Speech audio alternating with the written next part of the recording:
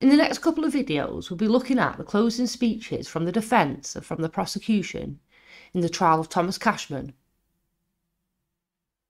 Firstly, I'll go through the defence. This will be read by Professor John Cooper, KC. He begins his closing speech with We will focus in on the evidence, not the theory, not the fantasy. We will be submitting to you, my learned friend some of the evidence absolutely wrong. And if the Crown have it wrong, what hope is there? We will not be pressing the emotion button. But we will recognise straight away that this case is predicated around an absolute and utter tragedy. Nothing I have to say throughout the course of this submission takes away from that.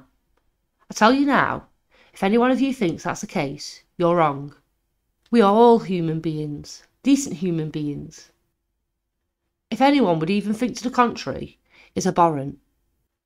We here, as a defence team, are here to do our job, which is testing the evidence.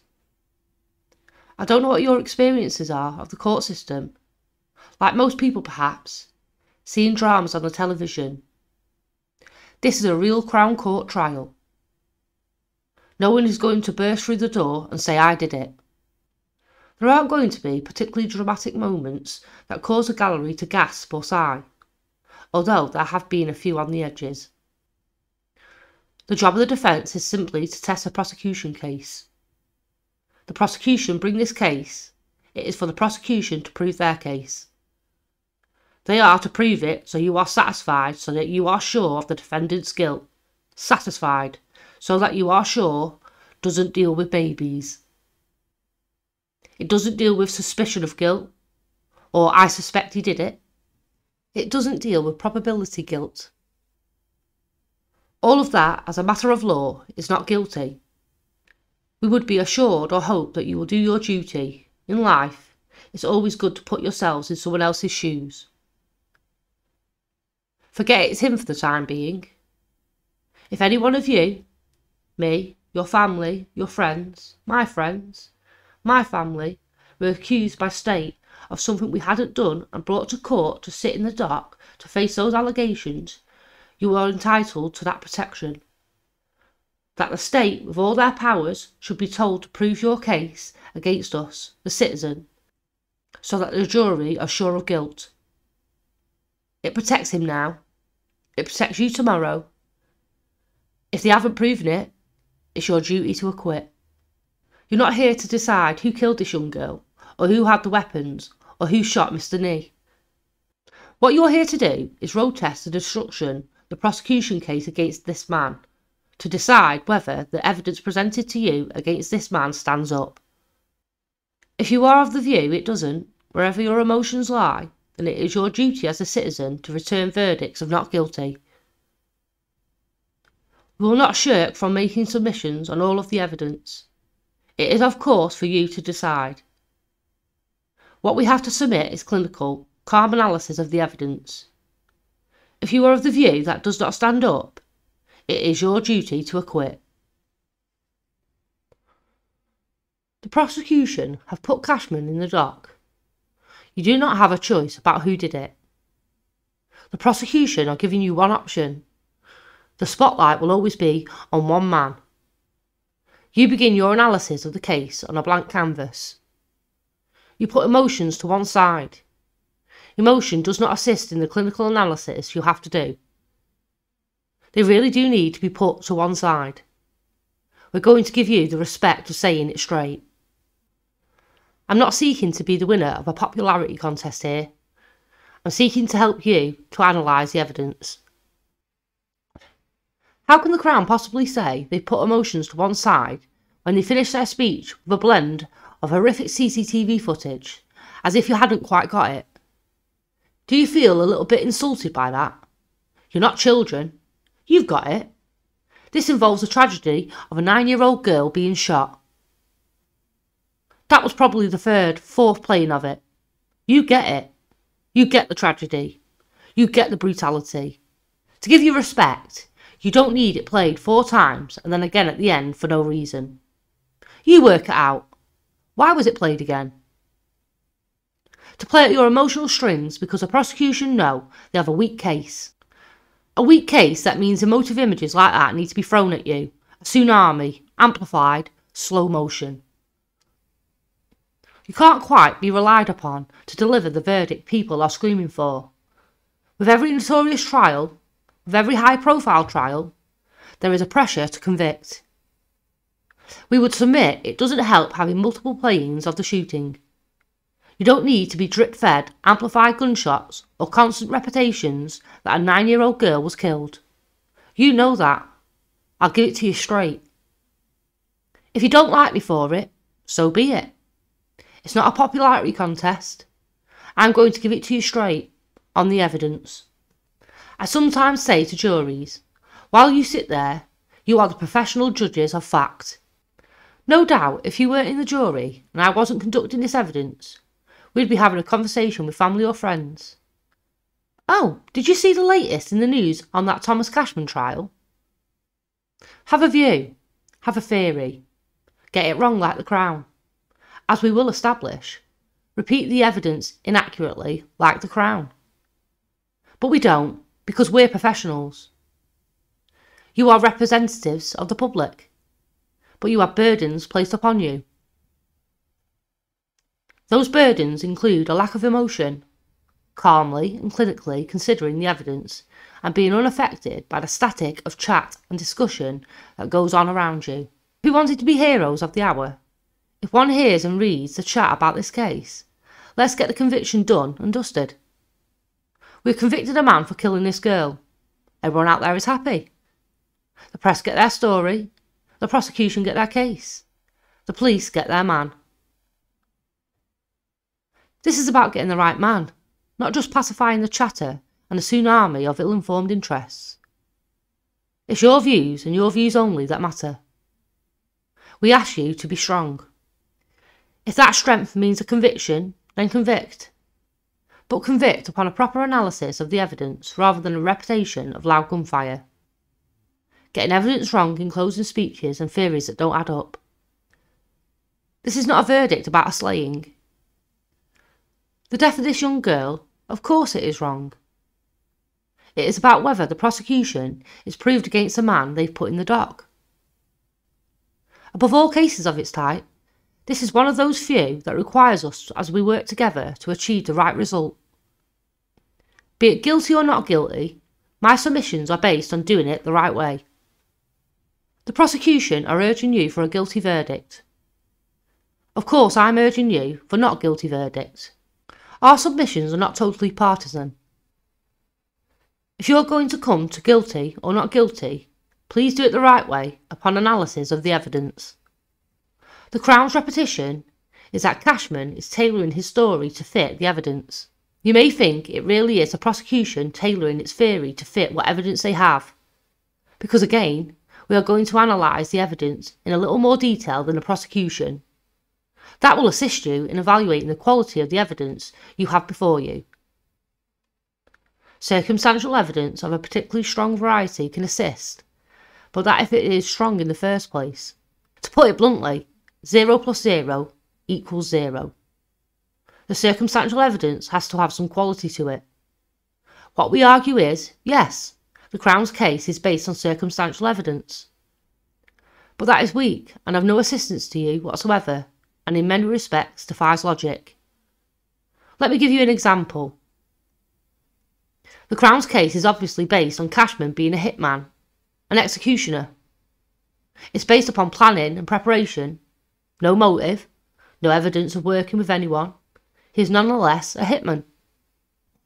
If the Crown is suggesting this level of care, the level of dotting the I's and crossing the T's, how does this work? The prosecution give examples of Journey 3, where Cashman can see Joseph Nee in his white van. The prosecution can conclude Joseph Nee is outside the premises, because his white van is there. If you're a hitman, bear with me, and you find your target and you've been looking for your target all day, the Crown is suggesting all these routes the Citroen is taking. Scoping. You as a hitman find your target, got him, what do you do? What you don't know is say, Excellent, I'm going to have a quick trip around the neighbourhood and go home for tea. This is the Crown's case. It's on our point of defying logic, a desperation. There it is. Cashman apparently spots Nee's van, gets him where he wants him. He'd stay within sight distance of that van to wait for Nee to get out of the house. In driving back to his home, who's to say that van isn't going to drive away two minutes later? It doesn't make sense. What is the point of scoping someone if the Crown's case is correct? Then drive away again. 35 minutes past 8, why not wait again? Cashman spotted Joseph Nee. After spotting Joseph Nee's vehicle, what does Cashman do? Drive away again to Mab Lane for 20 minutes. Again, the same point. However nicely it fits to the narrative, that doesn't make sense. What was to stop Joseph Nee getting into that van after he'd gone to Mab Lane and driving away? What a beautiful opportunity it would have been. That's the moment he would have shot him. When they find their target, they wait. They don't go for tea or whatever. The Crown's case really is that CCTV and the unnamed witness, in many respects, the Crown has spent much of their time focusing on the moments and CCTV. So do we. We do not shirk away from the CCTV, of the moments of Thomas Cashman on the CCTV, as hitman scoping, finding Mr. Nee and having him where he wanted him, then leaving him there. Might it be suggested Cashman wasn't quite in their mind for murder? What might a man in the mind for murder be in? He either sees a person coming out and shoots them, or follows them. He's scoping the joint for hours. What's the point of finding him and driving away? If he's the it man, he'll follow him to wherever he goes. You're ready to follow him, don't find your victim, then go for tea. Why does he behave this way? Because he's not the hitman. If he was the hitman, he'd have stayed there. He'd have either stayed there until Nee came out of the house and shot him, or followed him, so that at least he didn't have to find him again. It's common sense. Emotion dictates. Let's get Cashman. There's a craving for conviction generally here, the mood music out there, it needs someone for the murder of this girl. We need the right man. Society needs a prosecution to get the right man and to prove they've got the right man. That's you, society. None of us want the wrong man. It's a hard job. Probably the hardest job, probably one of the hardest cases for some years. So easy to wipe the board and convict him. So easy to do that.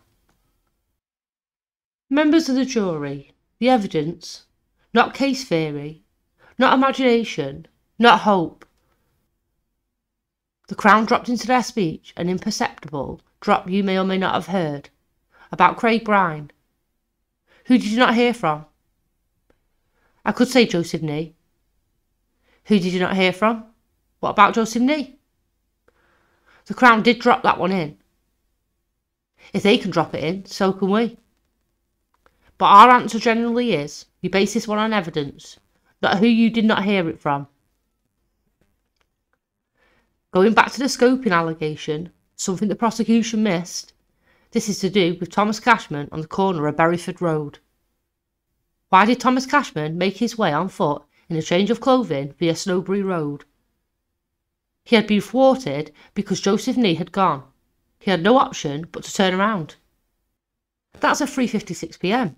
They wouldn't make the mistake, this hitman, of leaving him unattended later on in the day. There's him being thwarted at 3:56 p.m. and seeing Nee's gone. Common sense is very important. Use your common sense because the evidence is inadequate. We ask you to use your common sense for more constructive reasons. Common sense about whether this man, as a hitman, would leave someone unattended after they've been found. We submit the prosecution haven't spotted it. They haven't shown you the CCTV of it. Nothing in there about where Kevin Dunn lived. Nothing in the prosecution's opening about it. Even when they showed you the CCTV, Kevin Dunn appearing from his home, at just the time Cashman was looking down the street. You may suspect the prosecution missed that. It took the defence to bring it out. That's an example of the role the defence play in these trials. We're not the devils incarnate. Neither are we here to throw a veil over the evidence in this case, more so than ever, because the prosecution got the evidence wrong. They even got the interpretation of the evidence wrong. They missed Kevin Dunn. They didn't spot it. The defence did. We brought it to your attention. If we hadn't, the prosecution wouldn't have done because they hadn't spotted it. It's our job to make sure you have all the evidence in front of you to make that decision. That's what we do. It's not as glamorous as people make out. It's quite unglamorous the hours we spend at our desks going through papers. If the prosecution have missed something, we don't. We don't want you to walk out of this courtroom, and in fairness, neither do the prosecution, having delivered a verdict of guilty or not guilty, then learn something later that counteracted the evidence in court. If only we'd known, if only we'd been told. It's a job of all of us. In this case, it was the defence doing their job. Let's look at the evidence. Let's look at Berryford Road evidence. Cashman walks from the corner, looks down the road and walks off. He was going to shoot Joseph Nee, thwarted and quickly walked away. They're telling you what's on that side of the road, Joseph Nee. They're not telling you what's on this side of the road, close by. There is Kevin Dunn's car. But it gets worse. What it took the defence to have to show you, at the time he was looking down the road, he wasn't looking at that car. You saw the feet, the body of Kevin Dunn, standing near his car. The defence brought you that, not the prosecution. Make of it what you will, but the defence brought you that. It's not tailoring the evidence. This is an example of the other way round, you may think. What the defendant says about looking down the street and seeing Kevin Dunn he is going to go into his brother's house to deal or leave drugs. His brother wouldn't be happy about it and he goes away. Imagine if we hadn't shown you that. I'd have a wager with myself. I bet there would be at least half of you, if not all of you, who thought Cashman is clearly looking down that road looking for Joseph Nee. Why else would he be? At this point, Mr. Cooper points at the dock and says, What was it the Crown says about him tailoring, lying, taking advantage of the evidence. We are talking about a very serious crime here. Can you imagine what you might have been thinking if we had not shown you that? I'd have thought the same as you. Imagine how you would have felt leaving this trial with that being the only game in town. For the Crown to suggest you can tell that what Cashman was looking at by the way he moved does not bear analysis. You are not mind readers. How does a person react when they see an individual who is not supposed to know you're handling drugs? If it was his brother, he'd have thrown his hands in the air and said, Oh God. It shows the desperation the Crown have that seeps through the evidence in this case. It is, and I will ask you to remember this expression, what we will call an overinterpretation of the evidence by the Crown. An overinterpretation of the evidence so it fits their worldview. It is a Cinderella syndrome. We will force this evidence into a shoe that doesn't fit and play the banging video a couple of times. At this time, Mr. Cooper goes on a short break. Next, Mr. Cooper comes back in, and so does the jury. Mr. Cooper resumes his speech. Unfortunately, when Mr. Cooper accused the prosecution of making a mistake, he has also made a mistake himself. He corrects himself to state that the prosecution did identify Mr. Dunn's address in the agreed facts. He goes on to move to the prosecution's claim that Cashman got rid of his clothing. Mr. Cooper says, Getting rid of the trousers. Where are these trousers? The suggestion is made this was done to avoid getting into trouble, to avoid being linked to this tragedy. That sounds good, doesn't it? But it doesn't sound so good when two days later he's still wearing them. It's not quite clear what the Crown are saying here. Cashman is so concerned about these trousers because they may be a problem, and yet two days after, there he is. Two days later, he's wearing them. If he does get rid of them, it's pretty late. It's going back to the Crown Cinderella syndrome. Squeeze it in and make it fit. Here we now have squeeze it in with the trousers. There he is, wearing them two days later.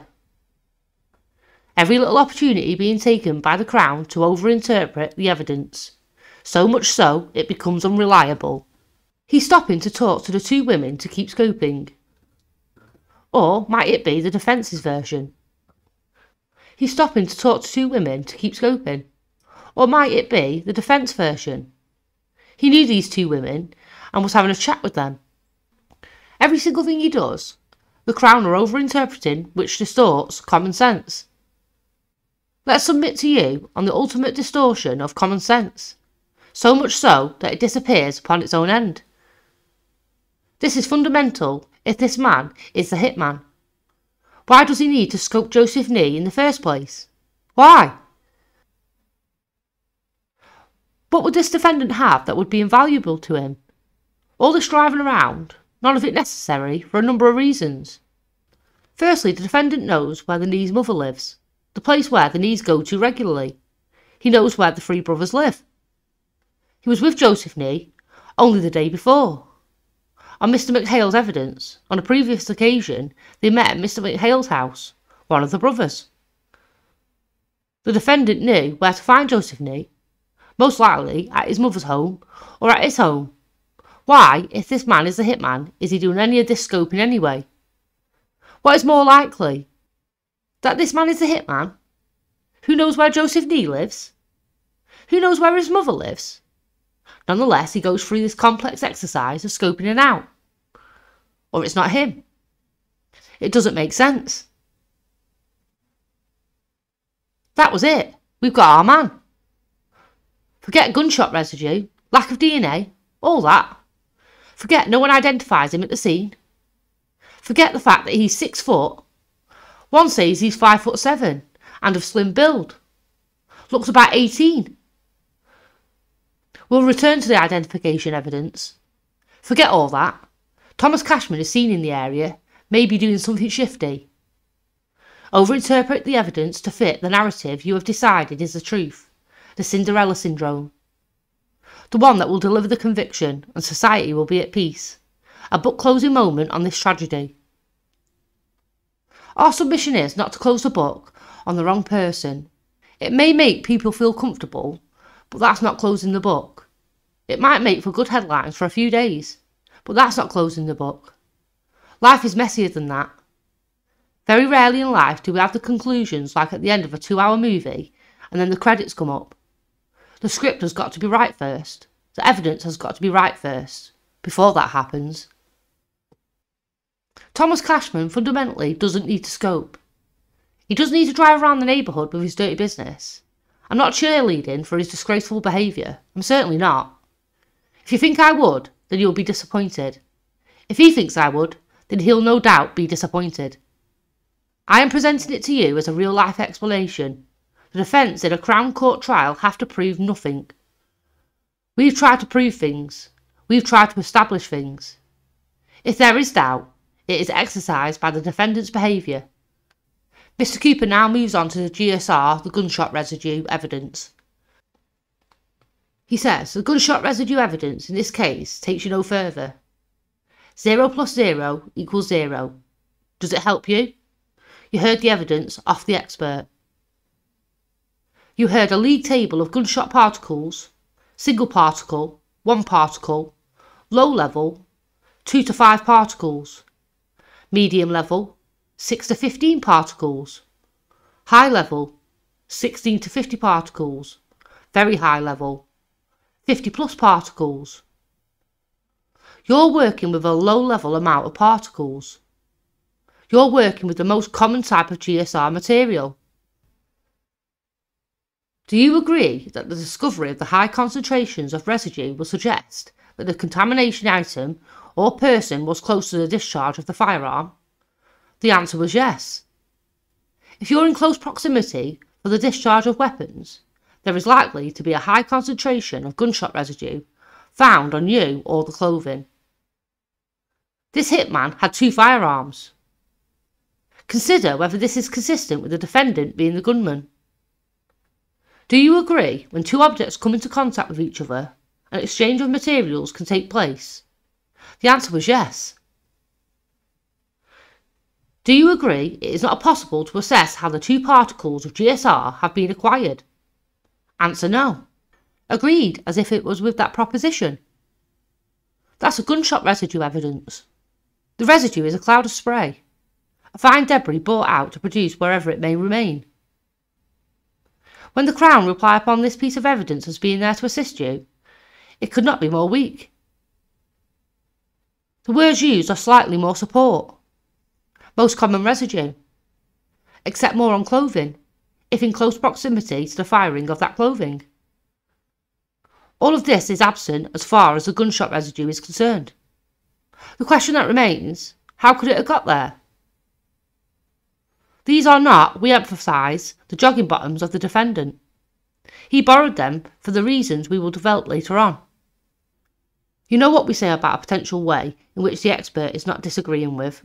The gunshot residue could have gotten those jogging bottoms. So Mr. Cooper now references an earlier shooting, the one where the unnamed witness was present. He says, She said this. It weren't long ago. I seen someone else get shot five or six shots. That was heartbreaking, helping this fella.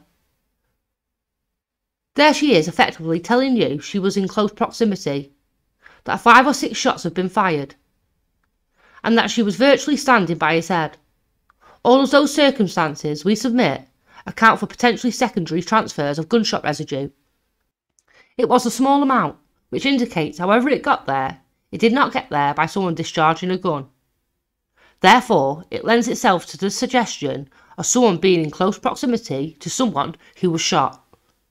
These items quite easily could have been carrying the gunshot residue.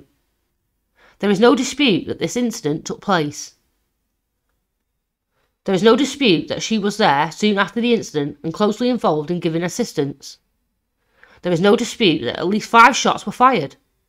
There is no dispute that the individual who fires a weapon is more likely to have a high concentration if he'd been handling two guns and discharged two guns, it would have been all over him.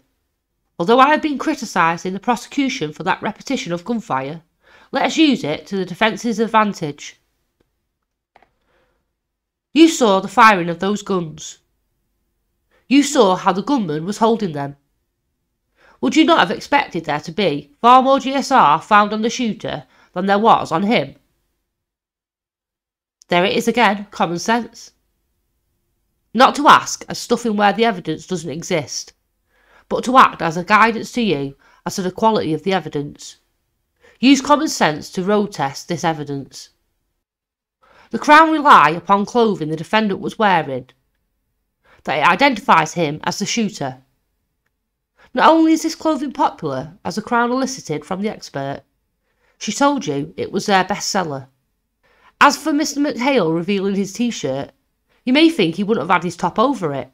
He wouldn't have had to be asked by me to lift his top up.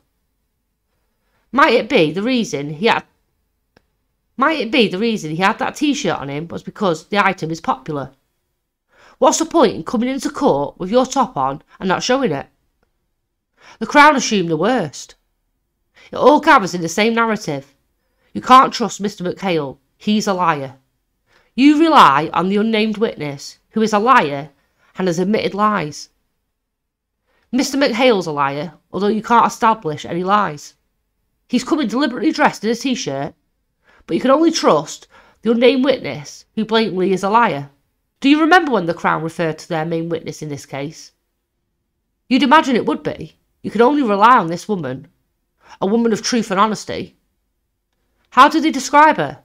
Or does this not sum up, in a nutshell, the level of the Crown's case? She's fundamentally honest. What does that mean? Dishonest here and there? Is she fundamentally truthful, but a liar? When you judge her, judge her how the Crown places her. Start with the Crown's thoughts about her. They submit to you that she is fundamentally honest. Not honest. Convicting, if you will, on fundamentally honest. I raise that in the sense that Mr. McHale being criticised for his t shirt.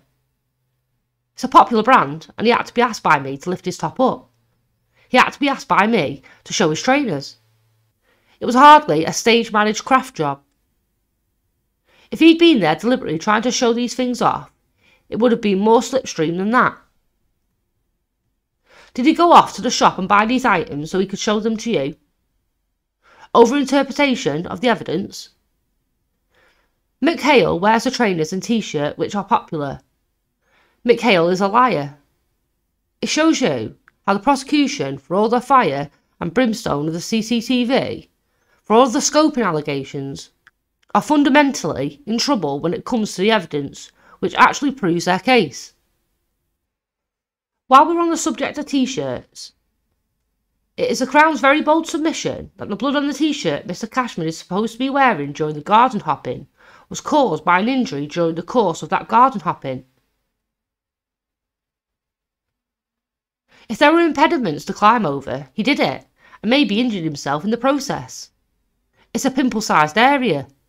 If he had been garden hopping, there would be more than a pimple scratch. You might have been of the view that it's surprising there was nothing on the outside of his t shirt. The defendant said, Wait a minute. When I was arrested, early September was it, I was examined head to toe.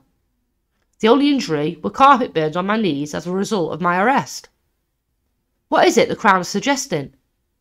The pimple sized scratch is a result of his garden hopping? Not a single scratch, bruise, or graze? Overinterpretation of the evidence? There it is again Cinderella syndrome.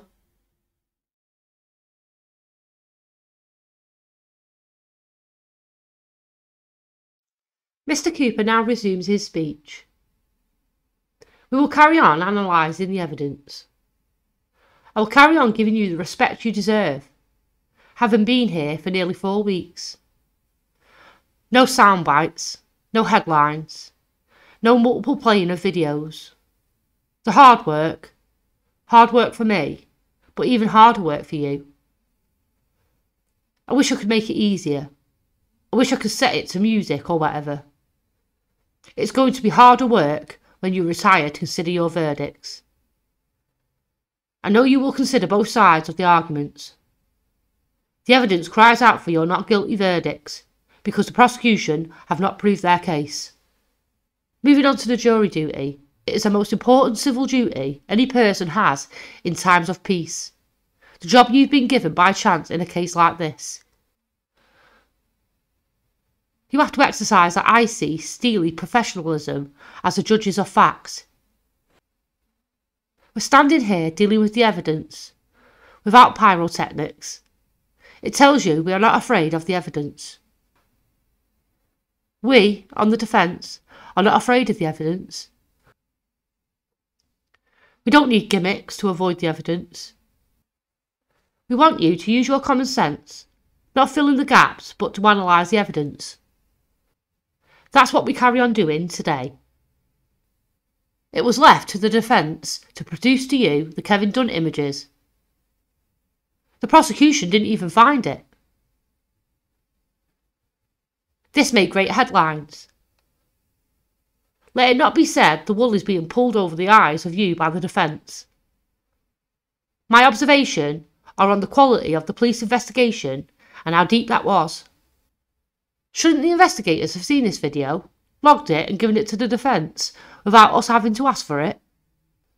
When we're talking about having the wool pulled over our eyes, it's a prosecution soundbite that sounds good out there on the streets. You're in here doing your professional job. We're interested in the evidence. Ask yourself this question Who actually in this case presented the evidence to you? When the prosecution assert there's a cut on the t shirt caused by the gunman garden hopping. Which team was it that analysed the t shirt in front of you? Which person told you he was examined head to toe a few days later with only friction burns on his knees? That was true. Which team is giving you half the story? The story that suits them? The side which is saying to you, let's fit the evidence to my story. Is that the defence? Or is it the defence that are going to give you the full picture? The temerity to even ask you to consider it's a defence pulling the wool over your eyes is astounding. These suggestions are easy to make because the defendant is sitting in the dock. Probably one of the most hated people in the country. Convict him. Let's move on. Close the book. Members of the jury, we ask you to quality control what the prosecution are suggesting to you. Is pulling the wool over your eyes code for we don't have an answer to your defence? What that usually means is we don't have an answer to the defence. It's a matter for you. It's a clever rouse by the defence. So clever it might be believable. Not because it's true, it's just sowing the mood music with you. It's just suggesting that the prosecution have their theory about the man scoping the area. Remember, he didn't need to. He's finding the van, then walking away for tea or whatever. Don't think about those little problems. Move on. Dismiss it. Don't even think about it. It's frightening for the prosecution to think that you might think about it. You might say it might have some merit. This man accused of one of the most heinous crimes for some time might hold the front page, be telling the truth. But he's pulling the wool over your eyes. Move on. Use your common sense when you think the defendant might be getting somewhere with his defence. We ask you to consider the evidence. It was boldly put out there that this defendant ran across the garden and injured himself. CCTV cameras in the area. Not one of them shows this defendant garden hopping. It's one of two things.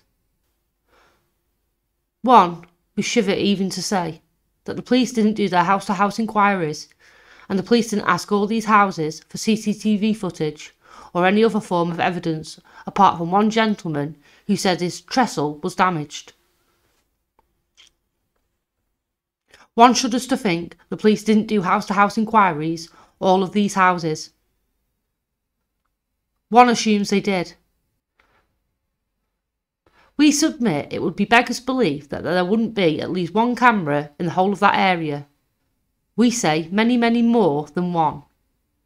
If it wasn't asked for, what does that say to you about the quality of this investigation? No one shows garden hopping, particularly not by him. As Mr. Cooper says this, he points to the dock and points at Thomas Cashman. Let's use our common sense to quality control and road test the prosecution evidence. Our job here is not to discover who tragically killed Olivia.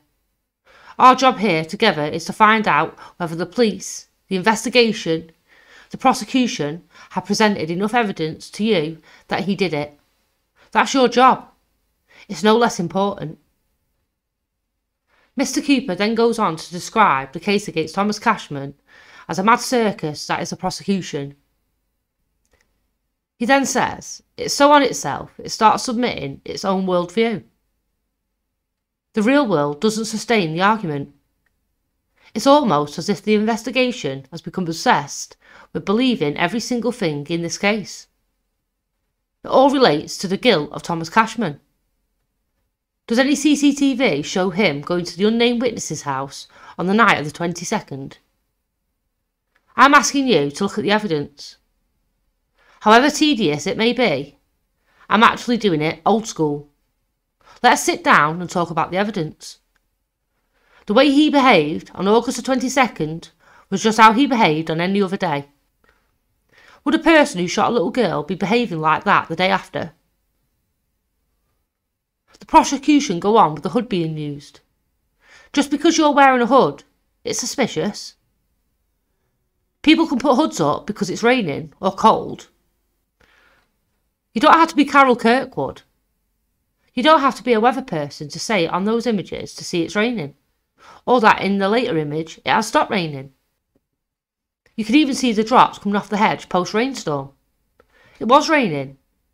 He had a hood up and he was covering his face because it was raining. A little later, he wasn't when it had stopped raining. When you analyse it, look at it carefully, and think about it, it does not stand up to our submission. Moving on to the identification evidence. There is absolutely none. You know the defendant is six foot. There's a difference you may think between five foot seven and six foot. I'm five foot nine, he's six foot. Big difference between us. And yet what you have from the witness, Andrew Teffler, is the shooter was five foot eight, short and skinny, and had the figure of an 18 year old male. There is no identification that matches this man. The shooter is five foot eight, definitely short and skinny. This is the prosecution evidence. There is no evidence at those critical moments of identification of this individual. The prosecution is no more than a theory out of control. There is no forensic evidence to link Thomas Cashman to the home of the Korbels. No fingerprint evidence. No definitive evidence whether or not gloves were worn at all. A higher possibility that the gunman would have left fingerprints. No motive, not that the Crown have to prove motive. But it always helps. No motive for Thomas Cashman to be involved in the shooting in any way of Joseph Nee. No evidence of any lead up communications. You may think not just when the phone wasn't being used, but nothing pre August the 17th, which in any way is worthy of bringing to you to show any form of conspiracy, conversation, or discussion. As far as he is concerned, he was speaking to Joseph Nee perfectly, amicably, the day before. You may ask yourselves this why not shoot him then, the day before? Why not do it then if it was Cashman? There is a massive hole in the Crown's case in terms of common sense. We don't leave it there. The evidence don't leave it there either. Mr. Cooper goes on to another agreed fact in the case. As of August 22, 2022, Joseph Nee and members of his immediate family had their enemies.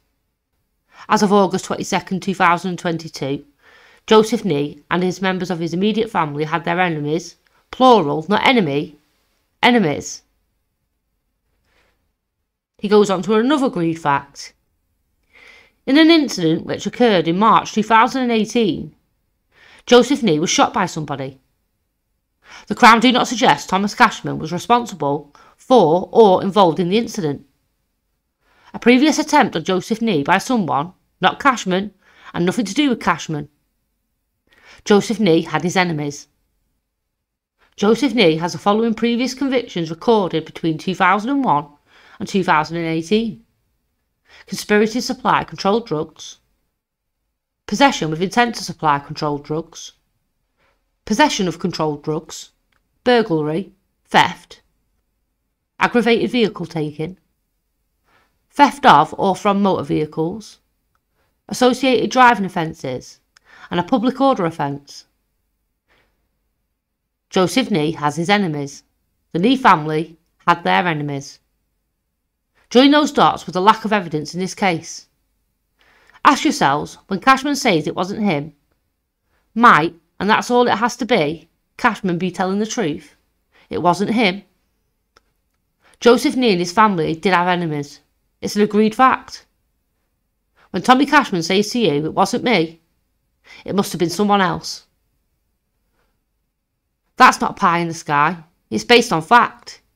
He had enemies. As at August 22, 2022, on the day of this tragedy, Joseph Nee and the members of his immediate family had their enemies. Please take away with you, in your minds, this admission. It is central to this defence.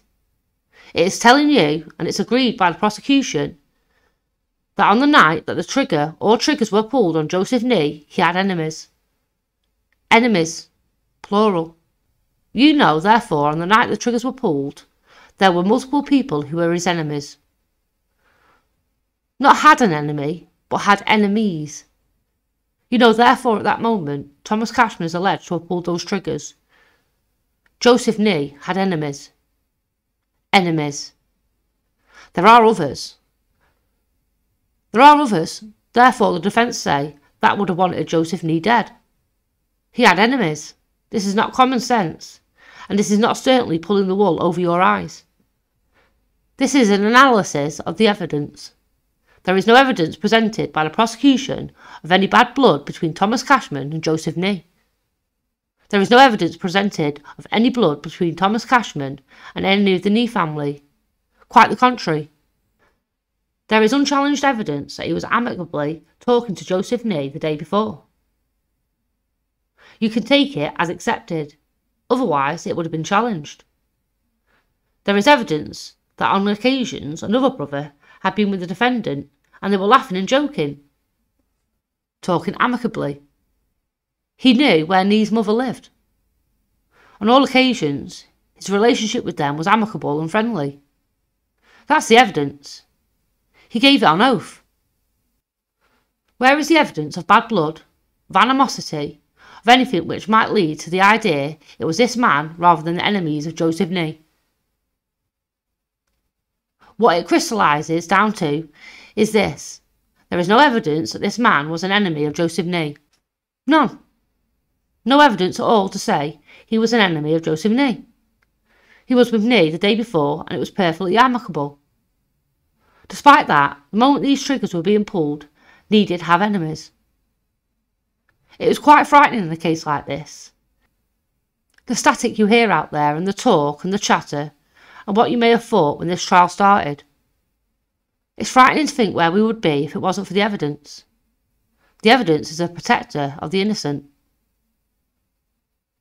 I'm not putting Cashman to you as an angel. Far from it. I don't have to like him, neither do you.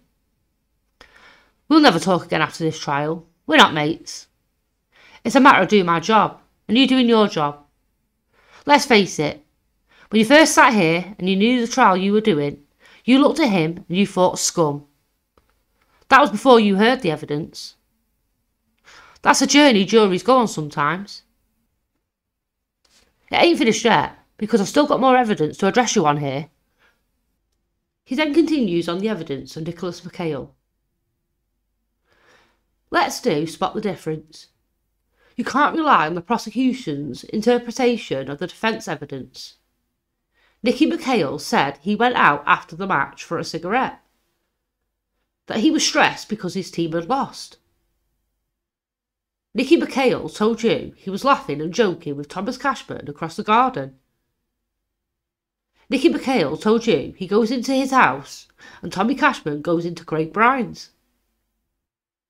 He told you on oath about five to ten minutes later, Craig Bryan knocks on asking for a lift and Paul McCarthy takes him. On a couple of occasions, he saw Thomas Cashman smoking a spliff. The prosecution submit to you that Nicky had got it all wrong.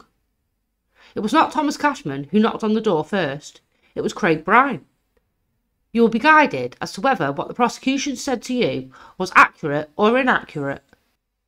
Paul McCarthy said about five minutes after the match, Craig Bryan knocked.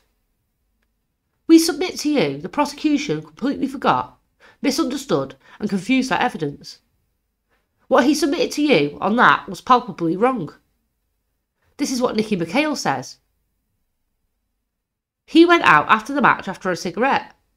He's laughing and joking with Thomas Cashman. About five to ten minutes later, Craig Bryan knocks on, asking for a lift. Nicky carries on watching the pundits and sees Tommy Cashman outside smoking a spliff. Nicky didn't get it all wrong. The evidence is clear from Nicky McHale. After a small break, the defence speech continues. Mr. Cooper will now address the evidence of the witness who cannot be named. There's someone I've not mentioned up until now, says John Cooper. He refers to the witness and he says, fundamentally telling you the truth, according to the Crown. You've seen her. Remember when she started giving evidence, clutching the Bible to her heart it was a very dramatic moment. A woman who lied and lied and lied again to the police. There's no fundamental telling the truth there. It was downright lies. The Crown are very forgiving over her lies. The developing timing of her anger and vitriol was all coming to a peak in August 2022. There had been bitterness and resentment festering for a much earlier period of time. But it was all coming to a crux and a pinnacle No CCTV evidence. Nothing to suggest he was near her house. Look at the sort of expressions she used. I promise you, this is the whole truth and nothing but the truth. Mr. Cooper quotes the unnamed witness.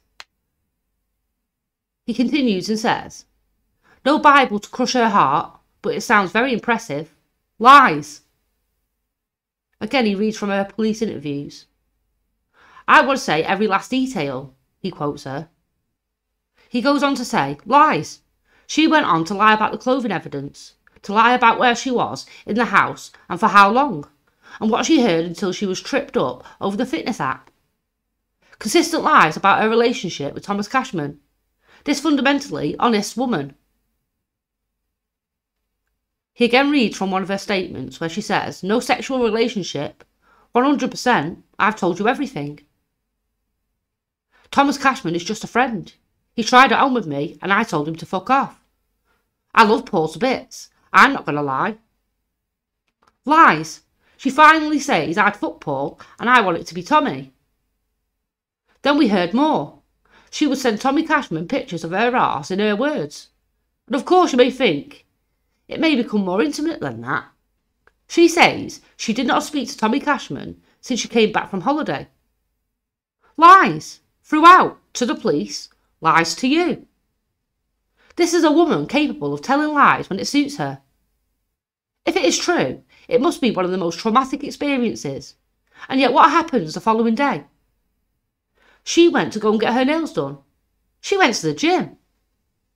I suggested, after all you'd been through, the first thing you'd think about is getting your nails done or going to the gym.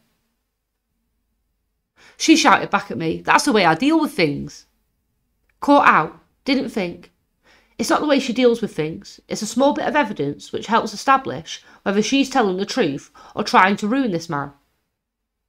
Would anyone have gone on there next day and gone and had their nails done and gone to the gym?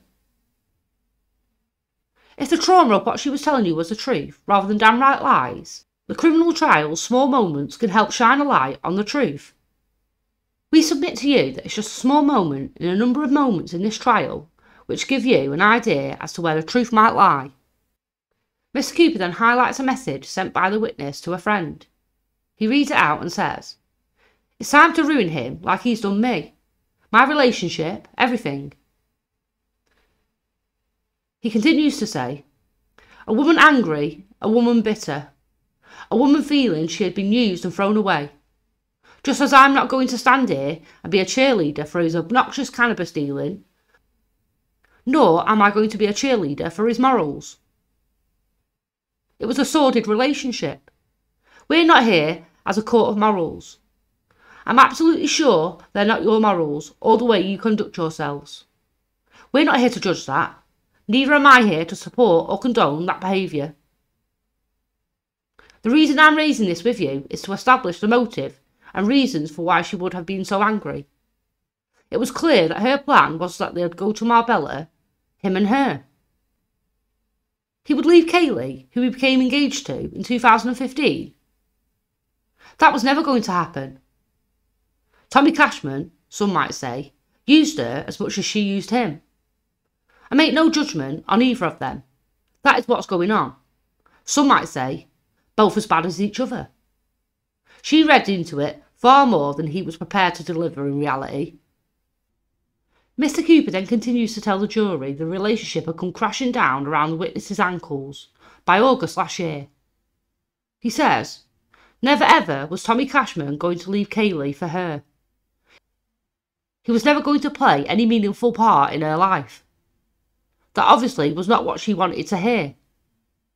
On the subject of a sexual relationship with the defendant, he tells you of that moment when passion overcome them in the kitchen Semen or juices produced by one or the other went over the t shirt and onto the jogging bottoms, produced the stains. The defendant did not want to be found out by Kaylee because he feared the consequences. That, of course, is the catalyst in the changing of the clothes. You had the reward, the spectre of this case. She says she jokingly asked would she be entitled to the money. She was well aware of the possibility of rewards in this case. She accused me of putting words in her mouth. She was desperate for money.